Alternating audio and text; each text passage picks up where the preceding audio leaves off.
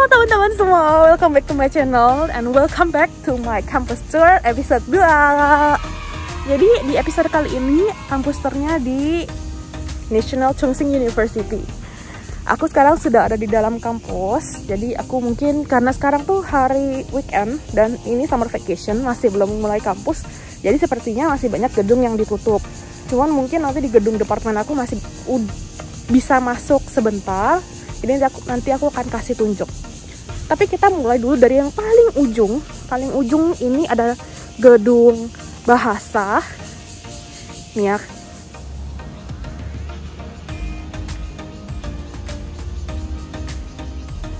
Oke, jadi sekarang aku ada di Wan Yanlo.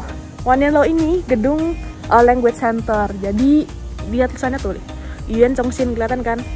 Yuan Chongxin. Jadi mungkin uh, English Language Center, Chinese Language Center di sini ya. Cuman karena aku uh, nggak belajar bahasa di sini, jadi aku nggak pernah pakai gedung ini sih. Ya iyalah. Oke, okay, yang ini College of Liberal Arts. College of Liberal Arts apa aja sih dalamnya?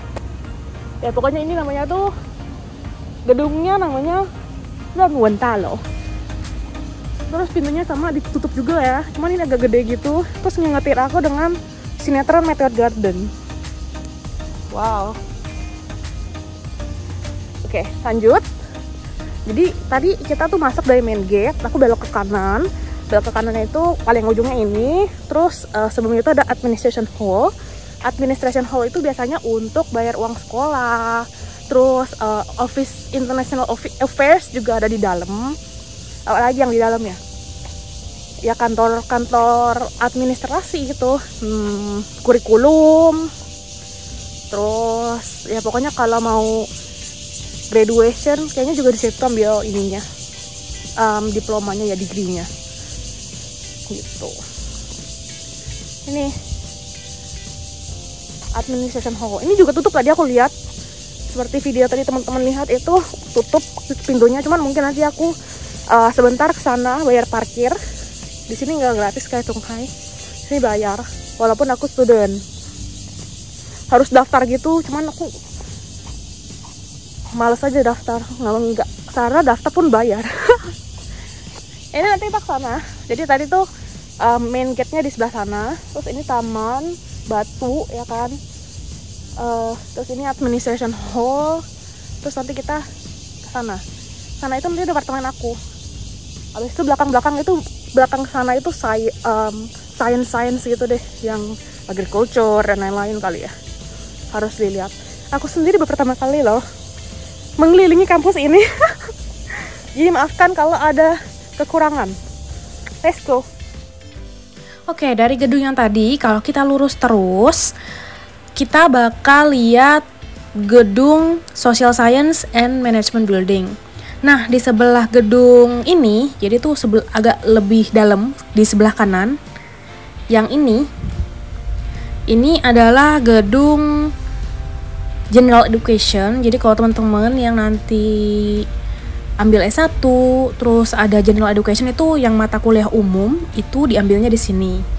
Mata kuliah umum itu wajib untuk diambil uh, beberapa kredit.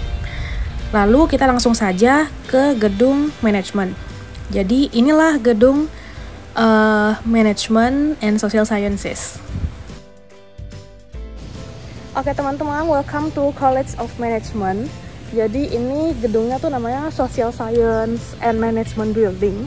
Jadi ini tuh uh, yang jurusannya Business Administration, Accounting, terus Marketing, Finance, apalagi tuh. Ini banyak ya. Terus lagi tuh kayak Social Science kan ada uh, Law, Public Economy, Public Administration gitu-gitu mungkin ada juga, cuman aku nggak bisa masuk. Dan karena ditutup. High life. Sebenarnya aku bisa masuk sih cuman hari ini nggak bisa ya karena nggak ada yang bisa dikasih lihat juga. Semuanya ditutup. Terus udah gitu di seberangnya itu ada danau.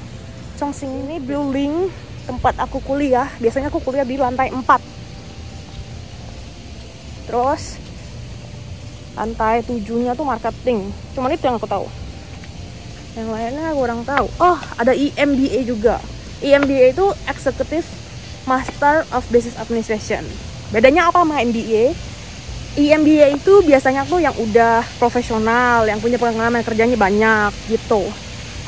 Ini dia lake-nya lake katanya di Chongsing itu terkenal dengan ini eh uh, itu apa ya?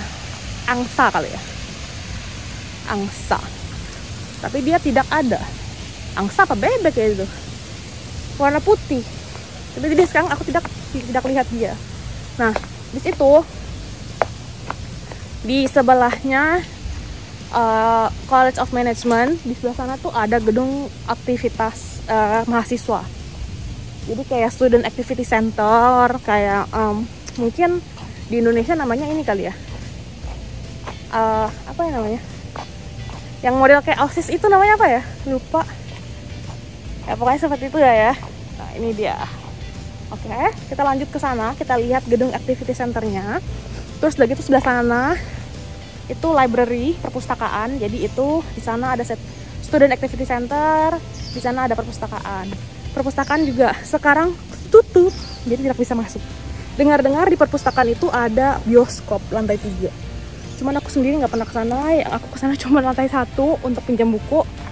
Udah deh. Oke, kita let's go. Let's go.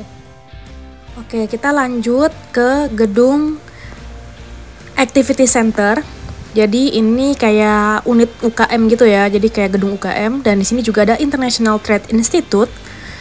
Gedungnya kelihatan tua, memang sebagian besar lah, hampir semua malah gedung-gedung di sini itu tua-tua karena NCHU sendiri kan sudah berumur 100 tahun lebih ya. Jadi ini sangat tua memang kelihatannya. Nah, gedung ini namanya tuh Yunping Talo atau Yunping Building. Nah, di sini kelihatannya ada Xuesheng Huotong Zhongxing itu artinya Student Activity Center.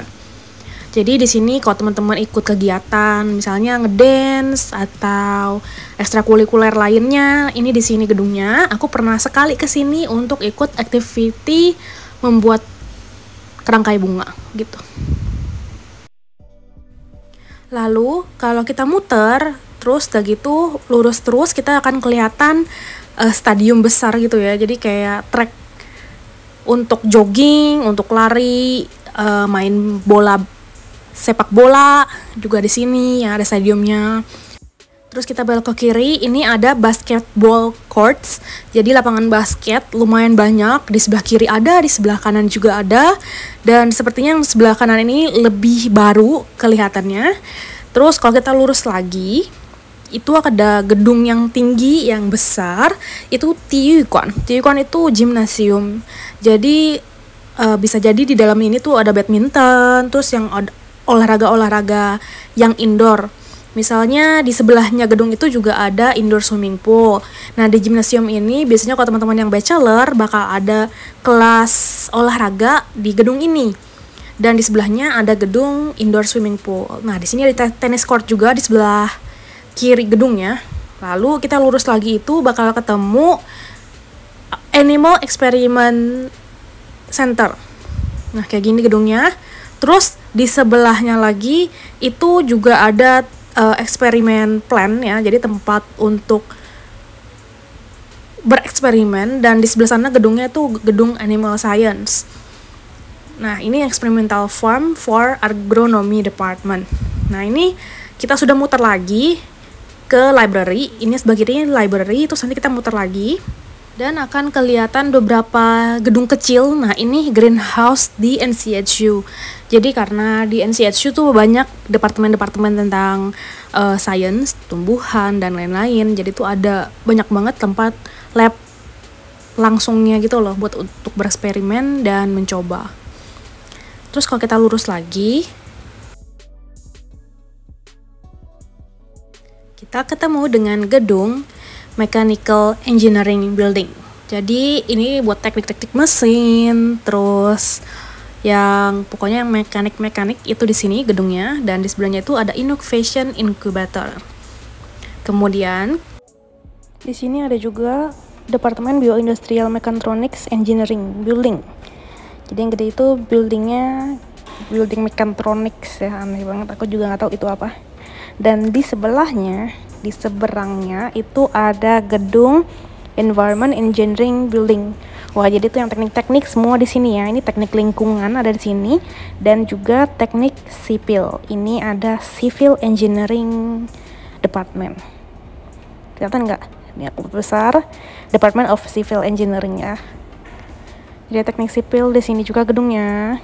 Kemudian kalau kita lurus lagi, Oh, ini ada tulisannya nih. Jadi ini engineering building dan ada teknik sipil dan teknik lingkungan di sini. Oke, mantap.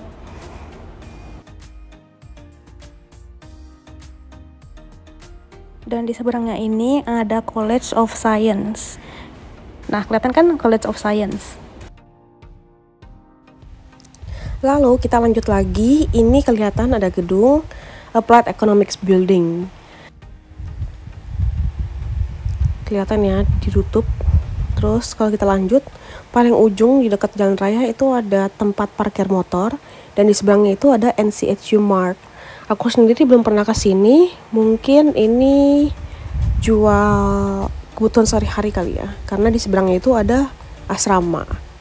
Jadi asramanya NCHU itu di luar kampus tapi dekat banget kan cuma di seberang nah ada Family Mart lalu ini ada Pilot Plan of Food Science and Biotechnology Center. Keren ya. Jadi di NCSU kalau yang science science tuh kayaknya wow. Nah yang ini masih di bioteknologi. Terus ada Graduate Institute of Biotechnology juga di dalamnya. Dan ada Graduate Institute of Bioindustry Management. Nah, ini lanjut lagi. Ini tuh ada Bachelor Program of Landscape and Recreation.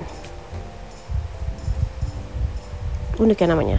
Nah, gedungnya ini tuh gedung International Agriculture deh kalau nggak salah kita lurus dulu nah yang ini ada small auditorium jadi mungkin kalau ada seminar terus ada acara kecil di sini lucu ya bangunannya ya kecil gitu nah ini gedung yang tadi aku bilang International Agriculture Center keren gitu ya kelihatannya dari luar oke okay dan di sebelah gedung ini ada uh, bangunan kecil. Dia ini adalah tempat innovation center. Di seberang ini banyak dorm dan fakulti dorm. Jadi asrama-asrama buat mahasiswa dan dosen. Lalu kita lanjut, ada kantin, ada restoran, restoran kampus dan di dalamnya itu ada cafe, terus ada 7-Eleven, ada Subway bahkan. Lalu pagi ini aku ingin mampir dulu ke Luisa Cafe karena aku baru sadar dari pagi ternyata aku belum minum apa-apa. Jadi aku mungkin ingin beli uh, minuman dulu satu gelas, mungkin teh. Dan di sini ternyata bisa menunjukkan student card itu atau faculty card dapat potongan harga 5%. Jadi cuman bayar di 95%-nya. Oke, kita lanjut. Ini adalah gedung Hoisun Auditorium dan di seberangnya dan di sebelahnya itu College of Electrical Engineering and Computer Science. Nah, ya. Jurusannya komputer-komputer juga di sini nih. Banyak banget gedung-gedung teknik dan ini yang tadi aku bilang auditorium dan itu my end gate-nya jadi kita sudah muter sebenarnya satu lingkaran cuman mungkin ada beberapa di gangnya belum aku gitarin jadi kita lanjut nanti ini adalah gedung Chemical and Material Engineering. Dan gedung di sebelahnya ini yang kecil ini adalah gedung Structural Proteomic Center. Untuk percobaan-percobaan juga sepertinya ya. Namanya susah banget. Dan di sebelahnya itu ada Life Science Building. Dan di sebelahnya gedung yang kelihatan itu yang abu-abu itu adalah gedung Agricultural and Environment Science Building di sini tuh tempatnya jurusan plant patologi, entomologi, lalu soil and environmental sciences. Jadi yang berhubungan tentang lingkungan, tapi bukan di tekniknya tapi lebih ke science dan di sebelahnya ada forestry building. Jadi teknik kehutanan sepertinya ya ilmu kehutanan dan ada College of Engineering ini College of Engineeringnya kelihatan agak sedikit baru ya gate-nya. Lumayan besar dan iya ketelukil ya. Kemudian ini gedung College of Life Science. Wah banyak banget ya. Life Science di sini. Ada yang building ada yang college. Oke, nah ini ada tulisannya. Jadi di sini tuh ada yang jurusannya molecular biology, biochemistry. Terus ada yang S2 juga di sini ya, yang graduate institute-nya. Oke. Bisa aku pahami. Banyak banget sainsnya. Dan ini gedung Computer and Information Internet Center. Jadi ini Information Science Building dan ya seperti itu. Dan di sebelahnya ini ada gedung College of Science. Oke, jadi stop terakhir kita di Administration Building dan President Office. Jadi di Administration Building ini ada Office of Academic Affairs, ada Central Affairs, ada Research and Development, International Affairs, Curriculum, dan ada Vice President Office, Student Affairs Office, dan lain-lain. Nah, jadi itu di sini tempatnya untuk registrasi, bayar uang sekolah, daftar kelas, kurikulum. Kalau daftar kelas online ya, cuman kadang-kadang kan ada yang harus um, pakai tangan gitu ya tulisnya ada yang spesial. Gini, di sini buildingnya. Lalu uh, kasir, ya kan tadi aku bilang. Terus ada research and development juga di sini. Banyak nih nyontek. aku sendiri belum terlalu familiar dengan Chongqing, masih baru jadi ya gimana aku di Tonghai aja tuh udah lupa gitu ya udah gak lupa tempat-tempatnya apa aja apalagi di Chongqing yang aku um, beberapa bulan ini jadi ya mungkin segini dulu videonya hari ini. Aku sekarang mau bayar parkir. Thank you so much for watching this video teman-teman. Stay safe and healthy. Jangan lupa di like di komen di share dan di subscribe youtube channel aku. Ikutin terus episode kampus tour aku. Request untuk teman-teman yang mau request kampus store di bagian Taiwan ya tapi jangan yang di luar Taiwan. Bingung aku. Jadi thank you so much teman-teman aku terima juga feedback feedback dari teman-teman. Tapi thank you juga buat teman-teman yang sudah terus support aku kasih feedback positif dan lain-lain. Thank you so much for watching this video. See you in the next video teman-teman